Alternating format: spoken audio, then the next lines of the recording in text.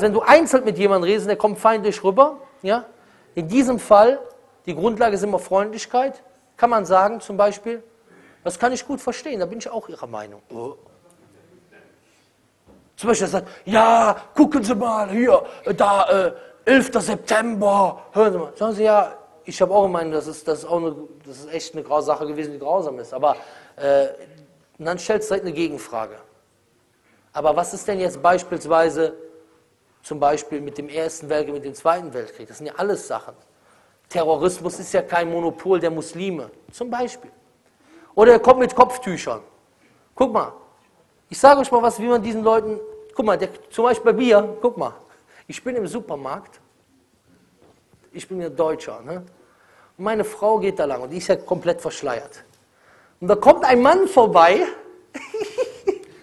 und der will, und der sieht meine Frau, und dann will er sich so bei mir ausheulen, weißt du? Hat er gedacht, er könnte jetzt mit mir so, ja hier, gucken Sie mal, wie die rumlaufen hier so nach dem Motto. Ne? Und dann habe ich, und wisst ihr, was ich gesagt habe? Eigene Waffen. Eigene Waffen. Guck mal jetzt die Antwort. Heißt ihm gesagt, ja wieso? In Deutschland das Gesetz, jeder kann rumlaufen, wie er will. Ich sage Herr, jeder kann rumlaufen, wie er will. Sind Sie gegen das Grundgesetz? Nee, um, äh, ja, ich habe das gesagt. Verstehst du so? Verstehst du, ist ja so. Ich habe gesagt, in Deutschland kann jeder rumlaufen, wie er will. Lassen Sie die Frau doch rumlaufen, wie sie will. Ja? Oder sind Sie gegen das Grundgesetz? Gibt es hier eine Kleiderordnung oder wie? Äh, nee, ähm, äh, äh, nichts, was er da sagen soll. Versteht ihr? Muss da manchmal den Spieß rumdrehen. Ja, hier, die werden doch alle gezwungen. Ja, wie viele Frauen kennen Sie denn, die zum Kopftuch gezwungen werden? Jetzt gibt es natürlich manche Studien. Ja, ich kenne das. Ich arbeite dort und dort und bei mir oben, da wohnt ein Türke und unten wohnt ein Marokkaner und der eine hat seine Frau geschlagen.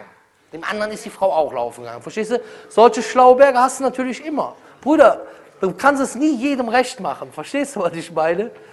Das ist nun mal so. so.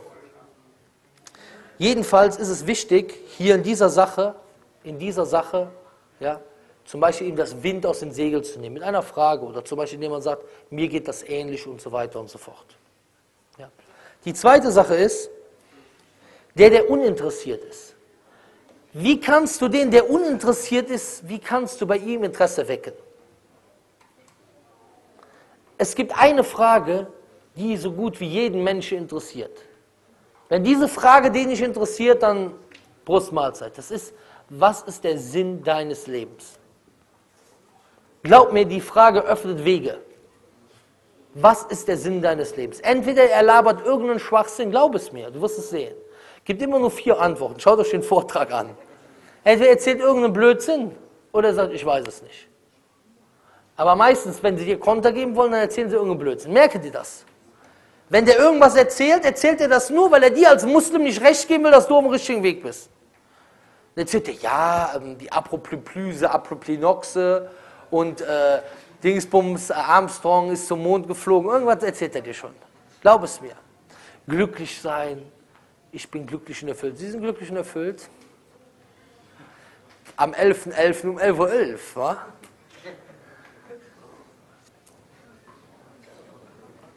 Was? Und jetzt? Ruf nochmal an. Das hier. Ach so. Ja, ich muss das, ich muss das in der Hand tragen, sonst hören die Frauen nichts. Ich sag das ja. Das, knall, das knackert zwar jetzt ein bisschen, aber Hauptsache die Frauen hören was. Ja. Oder sehe ich das falsch? Gut. So. Der Uninteressierte, eine Frage, mit dem man den Uninteressierten, was haben wir noch für drei Gruppen? Uninteressiert, interessiert, feindlich. Der Feindliche, man kommt meistens, er stellt irgendwelche Fragen. Ich habe ein paar Tipps gegeben. Ja. Erstmal, wenn er eine Frage stellt, warum machen Sie im Islam diese, dies, sagt man, danke, dass Sie sich über meine Religion fragen. Und dann machst du ihm erstmal einen Vortrag, bis du ihm die Frage beantwortest. Aber bevor ich ihm die Frage beantworte, muss ich ihm sagen, ich darf in meiner Religion nicht lügen. Hast ihm schon mal die erste Antwort gegeben? Weil Allah sagt, das sagt ein richtiges Wort. Das heißt, ich muss über die Religion die Wahrheit sagen. Und das Schöne ist, selbst wenn ich ihm nicht die Wahrheit sagen würde, Unsere Religion basiert auf authentischen Fundamenten, Koran und Sunna. Sie könnten es nachschlagen und sehen, was die Wahrheit ist. Das heißt, hast ihm die zweite Information gegeben, dass der Koran und die Sunna authentisch und unverfälscht sind, okay? Das heißt, du hast schon mit dem Dawa gemacht, bevor du die Frage beantwortest. Und dann beantwortest du die eine oder andere Frage. Und das werden wir in den folgenden Unterrichten des Dawa-Kurses machen. Wir werden darüber reden, wie redet man über die Rolle der Frau im Islam, warum darf der Mann vier Frauen heiraten, warum, die Mann, warum nicht fünf, ja, zum Beispiel. Warum darf die Frau nur einen Mann heiraten ja, und der Mann darf vier Frauen heiraten, zum Beispiel. Werden wir die ganzen Sachen reden. Warum trägt die Frau Kopftuch? Warum trägt sie kein Bart? Wie der Mann. Ich muss es immer wieder betonen, ich bin sehr glücklich darüber, dass meine Frau keinen Bart trägt.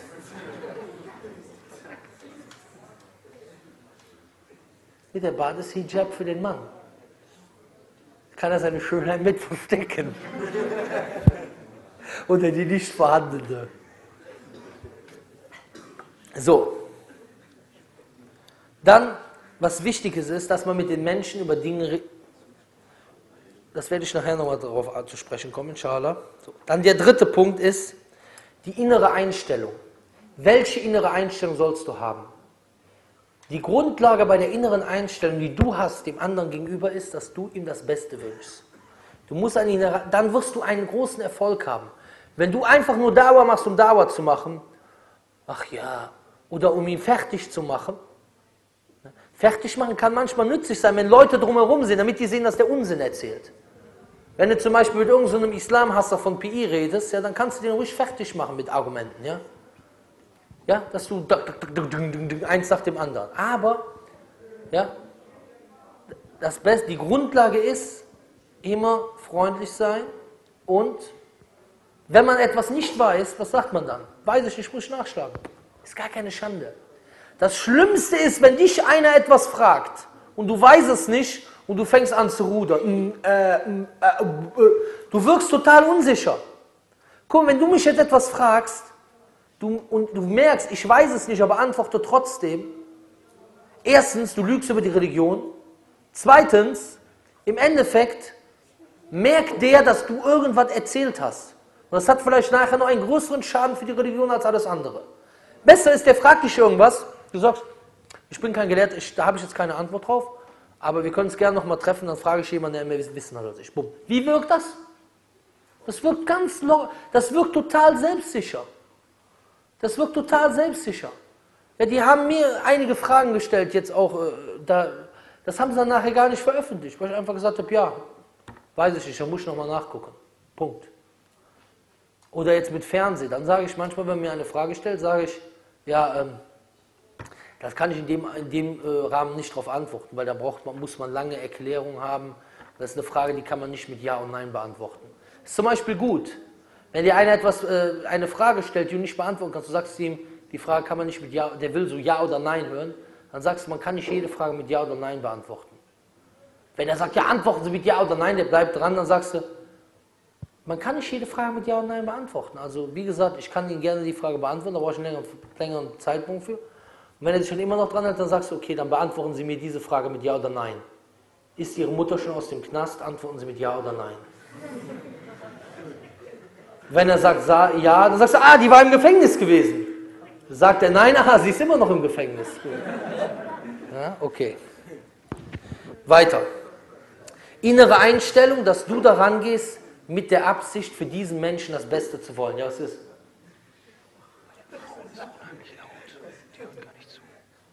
Ja, und bei den Frauen, es wäre sehr schön, wenn man dort leise ist. Ja? Weil es gibt einige, die wollen was mitbekommen. Ja? Ja? Okay. Deswegen, ich sage euch eins. Guck mal, wenn man eine Kamera hat, dass die Frauen einen Bildschirm haben, ist bei den Frauen immer Ruhe. Ist so. Weil durch das Bild ist man aufmerksamer, als wenn man nur Ton hört. Bei Tonot, dann ist der Kaffeeklatsch dann äh, angenehmer und interessanter. Ist wirklich so. Gut. Das heißt, du willst das Beste für ihn. Das kannst du auch sagen. Du kannst zu ihm sagen, guck mal, Thomas, Stefan, weißt du, ich sage dir diese Sachen nicht weil ich da Geld für kriege, sondern weil ich ihr das Beste wünsche und ich glaube, dass der Islam der einzig wahre Weg zu Gott ist. Brüder, das ist ein ganz wichtiger Satz. Du sagst Bruder oder nicht Bruder, du sagst Stefan, dies, das. Ich sage das nicht zu dir, weil ich dich beleidigen will oder weil ich was Böses für dich will, sondern weil ich mir für dich das Beste wünsche. Und der Islam ist der einzige Weg zum Paradies, die einzige Rettung vor der Hölle. Wenn du das zu ihm sagst, dann wird er nicht böse sein. Deswegen bitte ich dich, informiere dich. Wenn du willst, ich kann dir gerne ein, ein Büchlein geben. Aber habe diese innere Einstellung, Bruder, das Wort, was vom Herzen kommt, kommt an die Herzen. Das Wort, das nicht vom Herzen kommt, trifft die Herzen nicht. Nehme dir vorher vor, stelle dir vor, dieser Mensch geht in die Hölle und sage zu ihm, Stefan, Thomas, was auch immer, ich wünsche dir das Beste. Deswegen möchte ich dir diese Botschaft geben. Ich möchte dich nicht beleidigen, oder irgendwas anderes. Ich möchte, dass du am jüngsten Tag auch ins Paradies gehst. Glaub mir, dieser Satz, der hat viel Einfluss. Weil die Leute denken, wir wollen die erobern oder irgendwas. Wir wollen die Herzen erobern. Wir wollen gemeinsam mit den Leuten gewinnen. Okay? Viertens, der Maßstab und Selbstbewusstsein. Ganz wichtig, Selbstbewusstsein. Da habe ich eben schon drüber geredet. Überall im Leben musst du Selbstbewusstsein haben. Und gerade im Islam. Brüder, wisst ihr was? Viele Leute denken, boah, der Vogel, der ist ja sowas von selbstbewusst. Stimmt, oder habe ich recht? Ich bin nur bei Islam selbstbewusst. Glaub mir, alles, weil ich 100%, also was heißt nur, also auf jeden Fall, bei, also bestimmt nicht nur, aber bei Islam, da bin ich wirklich selbstbewusst.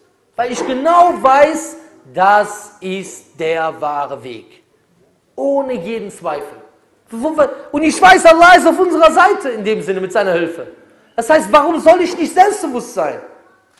Und für mich ist alles, was dem Islam widerspricht, falsch. Merke dir das. Bruder, merke dir das. Alles, was dem Islam widerspricht, ist falsch. Und der Islam ist die einzige Wahrheit. Und sage dir das immer wieder. Der Islam ist die Wahrheit. Der Islam ist die Wahrheit. Der Islam ist die Wahrheit und alles, was dem Islam widerspricht, ist Batil, ist falsch, ist Irreleitung. Merke dir das. Das ist so. Und da braucht man keine Angst zu haben, das zu sagen. Weil viele Leute denken, oh, oh, das sollte man vielleicht nicht sagen. Das ist das Problem. Man muss Selbstbewusstsein haben. Es ist nicht verboten zu sagen, das ist Meinungsfreiheit. Ich kann über die Straße gehen und sage das. Das ist die Herausforderung für diese Gemeinschaft. Dass wir den Mund aufmachen und genauso artikulieren. Aber warum werden diejenigen angegriffen, die das sagen? Weil die anderen es nicht sagen und sich verstecken. Wenn jeder Muslim das sagen würde, wäre das eine normale Sache. Aber jetzt, weil die anderen es nicht sagen, bist du auf einmal radikal. Aber jeder Muslim glaubt das. Ist so. Jeder Muslim muss glauben, dass der Islam die einzige Rettung vor der Hölle ist. Und dann hast du Selbstbewusstsein. Und dann kommst du auch zum Maßstab. Wisst ihr, was jetzt der Maßstab geworden ist? Der Maßstab für die Wahrheit ist nicht das deutsche Gesetz oder was gefällt Heinz und äh, Hans und was weiß ich, Franz, oder was gefällt äh, Frau Merkel? Oder was gefällt Tony Blair? Oder was gefällt äh, Balu der Bär? Oder so. Der, der Maßstab für Islam ist, wir, haben logische Beweise in der Religion. Weil du musst dir vorstellen, weil das, Brüder, das ist ein ganz wichtiger, richtiges Problem. Jede Frage, die, mit der man zu dir kommt, wenn du Selbstbewusstsein hast und weißt, Islam ist die Wahrheit, hast du eine Antwort drauf. Ja, warum muss im Islam die Frau Kopftuch tragen? Ja, äh, ähm, ja, äh, wissen Sie, äh, ja, äh, früher und äh, in, äh, bei uns in den arabischen, türkischen Ländern die Sonne und ähm, da wird die Haut geschützt.